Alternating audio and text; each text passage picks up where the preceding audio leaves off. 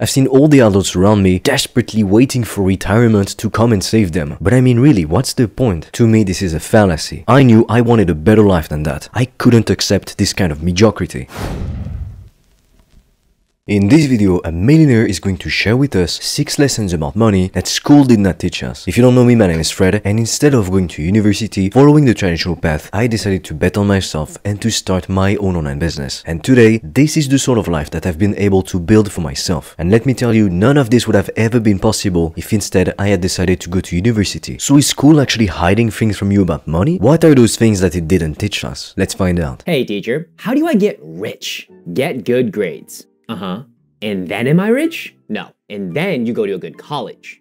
Okay. And then I'm rich. No. Then you have to get a good job, work for 40 to 50 years, grinding out from 8 a.m. to 8 p.m. And then I'm rich? And no, but Jonathan, it's not always about the money. Everybody wants to be rich, let's face it. Everyone wants the Instagram lifestyle that influencers keep showing you all year round. However, in reality, that's the top 1%. And it's called the top 1% for a reason. Most of your teachers in school, they have no clue how money actually works. And the same applies to business school. The only reason I didn't go to business school is because they were teaching web marketing strategies that quite frankly worked in 2011, not in 2023. And why would I learn from somebody who doesn't even run a business or who never had a business. You know, when many people try to get started in business, they think they need to write down a business plan. And that might be the case depending on which business you want to start. However, if you want to start an online business, you don't need a business plan. You need a strategy, yes, but not a business plan. And the reason why is because in business, things move very fast. While you're waiting, you're overthinking, there's another hungry guy. He got started and now he's reaching out to potential customers. He's having meetings with them. He's closing the customers that could have been yours if only you stopped overthinking, you rolled up your sleeves and you got to work. But if right now you're going to university or you have a job, if you think that this is the path to making a lot of money, to becoming rich, or even to getting to six figures a year, let me tell you there's a much more efficient way to go about doing things. Because that little skit was funny, but it is the truth. Most people, they just go to school, they get massively in debt to get an okay degree or a good degree, and some people, they don't even get a job. That's the reality. Because of artificial intelligence and machines automations, there's plenty of people losing their jobs every day. And trust me, we're only at the beginning of it. Because robots, machines, and AI is gonna do so many jobs much better than we ever could. So lots of people are going to work hard to go to university to study super hard for 5 years to get a great degree and then at the end of it they're massively in debt like 200k, 300k and they can't even get a job. So they end up working at McDonald's. And even if you do get a job, you start off in life with minus $200,000. Does this sound like a fair deal to you? Now fair enough, I'll grant you that. Some CEOs, some COOs, CFOs or executives at big corporations, they make a pretty nice income. Some of them make 7 figures a year. Lots of them make 6 figures a year. They drive the latest Audi or Benz to the office every day. And on the outside, people they look at them and they think they have the amazing life. They say, oh, you're so lucky. In reality, those people, they work 80 to 90 hours a week, Monday to Friday, but on the weekends, they're always busy replying to work emails. They have no time for their friends, for their families. They often work on Saturdays. They're at the office before everybody and they leave after everybody. And even when they go on vacation, because hey, they have two weeks of vacations per year, they spend most of their time replying to work-related email or text messages. So in the end, they might be at a beach in the Bahamas, but they're not really relaxing, are they? They're not really unwinding, taking a well-deserved break from work. And that's why ever since from a young age, I knew I didn't want to follow that path. I didn't want to go down that route because I saw most adults around me, they were miserable. They were depressed, they were anxious, they hated their lives. And so I looked at them, I observed them, and I thought, what's the point? What's the point of working hard all of your life, studying hard for like five years even, and then you get a job, but you're in debt, and when you do get that job, you work slave-like hours just to pay taxes and to barely make any money to literally just enjoy life. And you do that for 50 years straight, nothing changes, you need to get a mortgage, you need to buy a car, but, but you need to take out a loan to buy the car as well, and then one day you die, boom. I've seen all the adults around me desperately waiting for retirement to come and save them. But I mean really, what's the point? To me, this is a fallacy. I knew I wanted a better life than that. I couldn't accept this kind of mediocrity. I wanted to experience the best things in life. And if you're watching this channel, chances are you want the same. And you're damn right. You shouldn't have to settle for less than what you want. But I'll be honest with you, the path, it's not going to be easy. It's going to require a lot of hard work. To give you an example, on YouTube, you're often going to see at some point a creator blow up. And it looks like an overnight success. And most people, they're just going to assume that they got lucky. But I mean, if you take a look at my channel right now, I'm publishing two videos a day on YouTube. It's a lot of work. It's growing the channel faster, of course, but it is a sacrifice that I'm making actively every day to reach my goals faster. I like to say that the shorter the time frame, the harder the intensity. And by that, what I mean is that, for instance, if you wanted to lose 20 pounds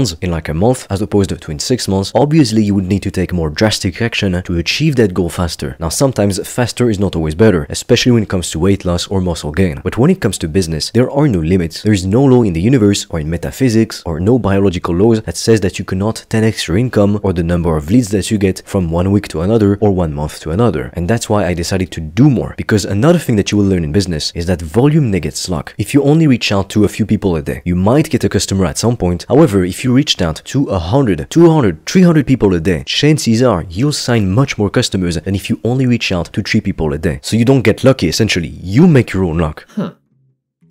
It's not always about the money. Then why are people at work always talking about how much money they're not making? Folks, I've worked for itty bitty startups, I've worked at Fortune 500 companies. I can confidently tell you here, it is about the money. And it's okay that it's about the money. In fact, let's do this. Comment down below. If you stop getting paid to do what you do, would you continue doing it? My guess is Likely no. And that's totally fine. Truthfully, there's a lot of people, they're going to try to shame you for wanting to experience a better life, for wanting to experience abundance or luxury. But ask them, why did you go to school? Why do you work your job? To get money, to literally live. So there's nothing wrong with making money or wanting to make more money. Honestly, people who are going to shame you for it, it's only because they don't have the necessary courage to do whatever the hell it takes to reach their own goals. So instead of chasing their own goals, they're going to try to make you feel bad about going after what you want. So then why is all of our money education happening after we leave the education system? That I don't actually have an answer for. It's simple. It's because they don't want you to get rich. Governments, they simply want you to get a job and to pay taxes and then to die. They don't care about you. Companies don't care about you either. CEOs don't care about you either. They want to make money. And if they can take it from your pocket, they will. It's that simple. That's what I realized from a very early age. Why would I spend all of my life working for a system that really doesn't care about me and just wants to use me to get more money for themselves? You know, there's a lot of cringe quotes on Instagram, but one of them is very true. It says that if you don't build your own dreams, you'll be hired to build the dreams of somebody else. Now, does it mean it's always bad to be an employee? Not necessarily. However, in my opinion, if you want to experience true abundance, true freedom, even luxury, you need to be in control of as many variables as possible. And the only way you can actually do that is by being a business owner. To give you an example, in finance, there's this rule of paying yourself first. It's supposed to help you to accumulate more wealth and to become richer. So what's that rule essentially? It means to deduct as many things as possible from the income that can be taxed from your business. But hey, guess what? It doesn't apply to employees. You're taxed already anyway. You cannot business expense anything. So as you can see, the game is rigged. The dice are loaded in favor of the top 1%, not of the bottom 99%. Lesson one,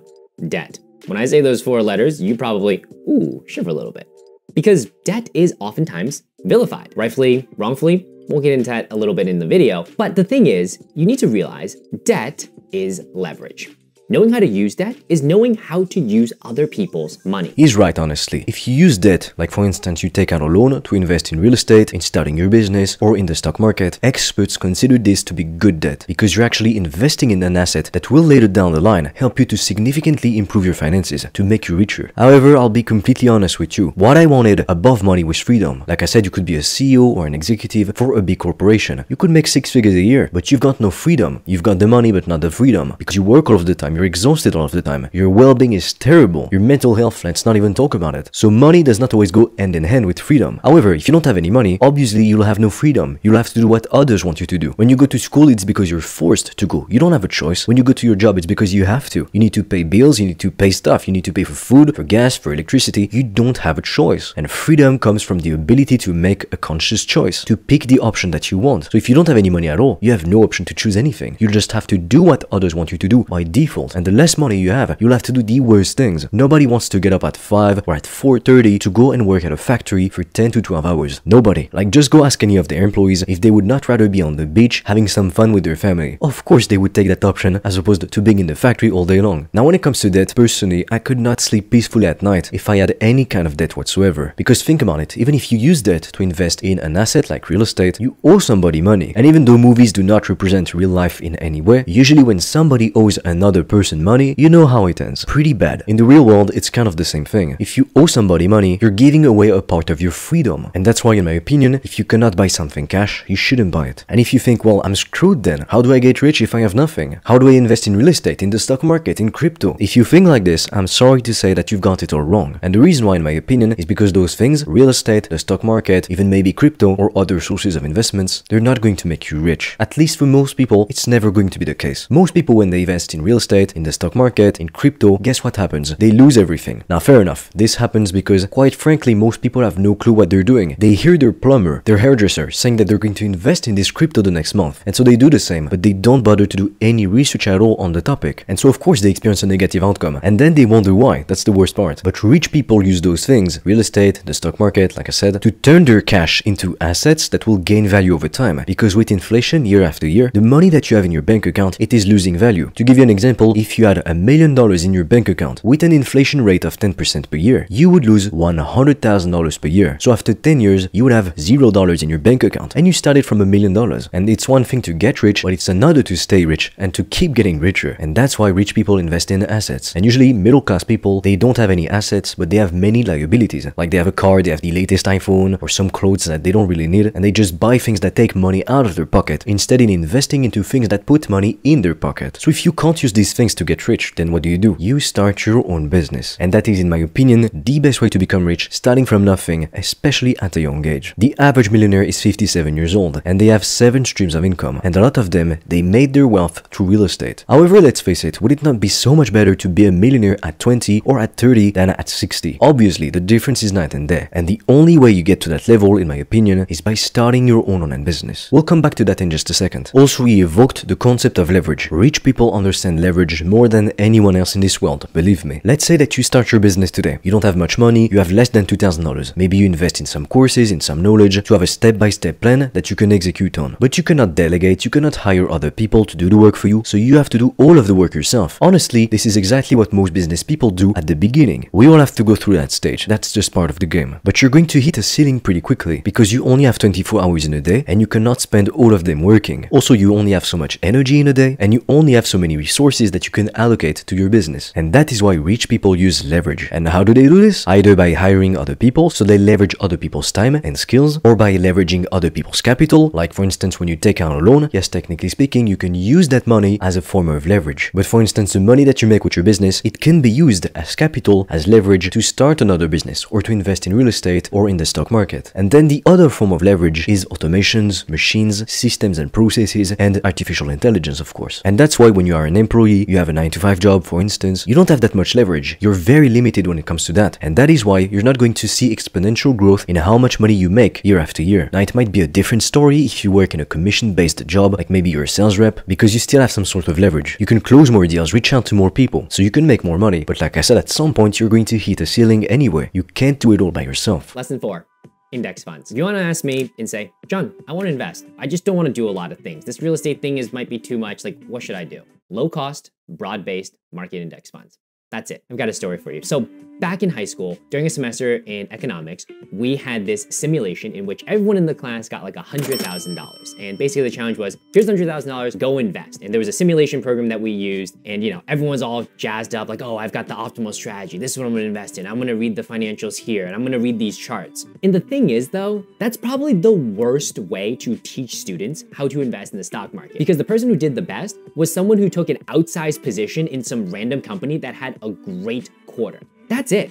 But if you think about it, over an investment time horizon, it's not in three month increments or six month increments. It is 40, 50, 60 years. It's true that most people are going to focus on the short-term results, when in reality, if you want to make a lot of money, you need to start thinking long-term. Now, of course, you need to have your big long-term goal and break it down into monthly, weekly, and even daily objectives. Because at the end of the day, it's the daily process, the daily routine that is going to help you to get to that end result at some point. But like I said, investing in the stock market, if you only have a $1,000 to invest, it's not going to change your life. Sure, it might put you in the habit of investing in the stock market on a monthly basis, for instance, but it is not going to significantly change the quality of your life literally overnight. Truthfully, if you want to see good returns on your investments in the stock market or even in real estate, you'll need a lot of capital to invest into it, at least a million dollars. So if you only have a thousand dollars to invest, start your own online business. Invest in knowledge because you don't know what you don't know. If you knew all of the mistakes that people make when they get started on a business, for instance, you could avoid those mistakes and reach your desired outcome 10 times faster. I can tell you for a fact, if I hadn't taken so many courses and read so many books on money and on personal finances, watched countless YouTube videos, I would not know all of the things that I know today, and I would definitely not be where I am today. Now you've got to be very careful because not every business model offers the same opportunities. A lot of people are going to say that dropshipping is an amazing business model. However, in reality, when you analyze it in depth, you realize it is possibly one of the worst online business models to start as a beginner. And trust me, I did dropshipping in the past, so I know what I'm talking about. Now I can't go too in depth in this video because otherwise it would take three hours. So if you want to start your own online business, but you don't know what to do, you have no clue where to start, I have recorded a free video in which I am going to analyze every popular online business model, affiliate marketing, dropshipping, info products, consulting, and much more. We take a look at the pros and at the cons of each business model, and I'm also going to share with you for completely free the three-step process that you can use to start landing your first customers right away. The link is in the description below if you're interested. And with that said, as always, I am waiting for you on the other side.